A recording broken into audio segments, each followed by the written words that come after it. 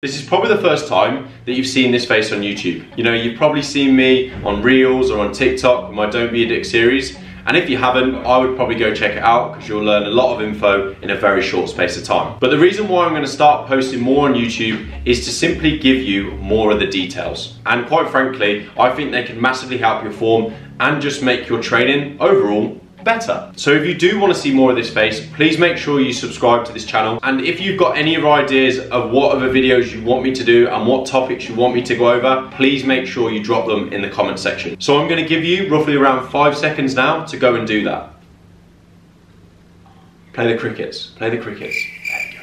Let's get on with today's video anyway. How we can increase our squat depth and what may be the reasons why we're not getting as deep as we want and how you can massively increase it by adjusting things like mobility, form and what common issues tend to be caused by it. Now the first thing I want to say is there's no perfect squat depth. We're all different, we all have different dimensions. Having said that, I do believe that people should try and achieve a depth of where their hips are in line with their knees. That might be difficult at first, but it's going to be a great point for you to work towards and really help you improve your squat. So the first thing I'm gonna go over are the common errors that you might be doing when it comes to your squat, which is reducing the depth that you can achieve. And that usually starts with putting your weight massively too far towards your heels and pushing your bum to the back of the room. Now when it comes to a squat, we wanna focus on allowing our knees to travel forward and simply sinking the bum down. If we focus on pushing our bum back, we're gonna find ourselves getting a butt wink, which is where we get this posterior tilt in our pelvis, which usually when you finish your sets of squats means you've got lower back pain, and we struggle to achieve any decent depth at all. And we also load the wrong muscles. So if this is you, make sure you're putting your weight more towards the middle of your feet and you're focusing on really sinking your bum down. That way, you should be able to achieve more depth in your squat and you'll load your body evenly. And more importantly, keep your torso nice and upright instead of dropping your chest down, preventing you from feeling any pain in your lower back.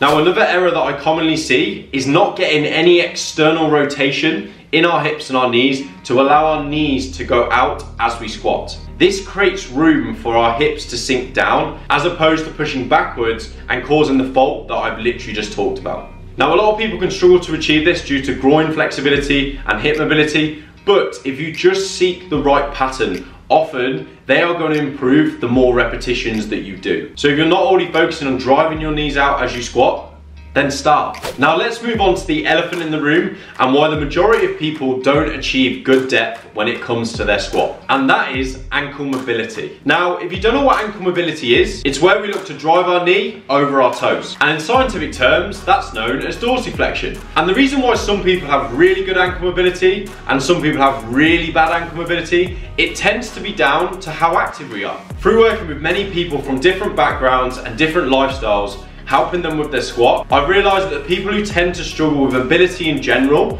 and their ankle mobility specifically are the people who've gone through periods of being highly inactive. Because what tends to happen when we are inactive, our joints get very stiff and our range of motion tends to reduce. Which means when we start getting back into training and we go to squat, hitting a decent depth is gonna be difficult. Because in order to sink our bum down and allow our knees to go forward, we need it. Otherwise, in seeking more depth, our chest is probably gonna drop, we're probably gonna get a butt wink, and then we're gonna start feeling a lot of it in our lower back. So let's first talk about how we can improve it. Now, one of the simplest and quickest ways you can improve it is giving yourself artificial ankle mobility, which comes in the form of elevating your heels. The most popular way to do this is with plates, or even getting a set of lifting shoes that will usually have a raised heel to help you out a bit. Now, to a lot of people, this is really seen as just putting a plaster over the problem, as you're not really addressing the issue. However, a training aid is a training aid, and if it helps you get better results in the gym and makes your training more enjoyable, I'm all for it. And as Olympic lifters use weightlifting shoes with a raised heel to help them out, I don't see why you can't too. Now when it comes to actually improving our own ankle mobility, we simply need to focus on one thing, and that's focusing on driving our knee over our toe. But doing this in an isolated way and making sure we're controlling our knee through that range.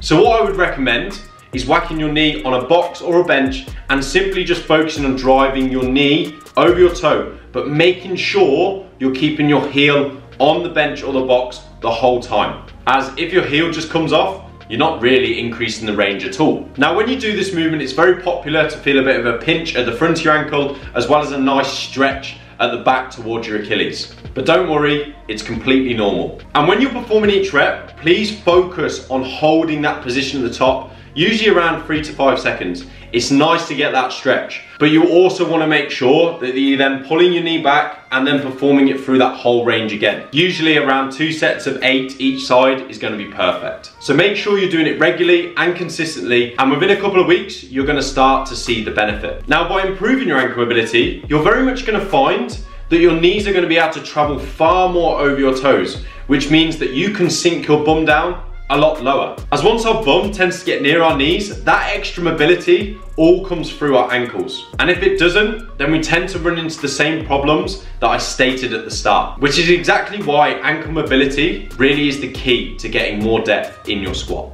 So to summarize, if you really want to get more depth in your squat, then get more ankle mobility. It really is the key that's going to make a humongous difference to the quality of your squat. But at the same time, of course, I would also make sure that you are following the correct form principles with it. So I hope you found this video and that information useful. And remember, don't be a dick.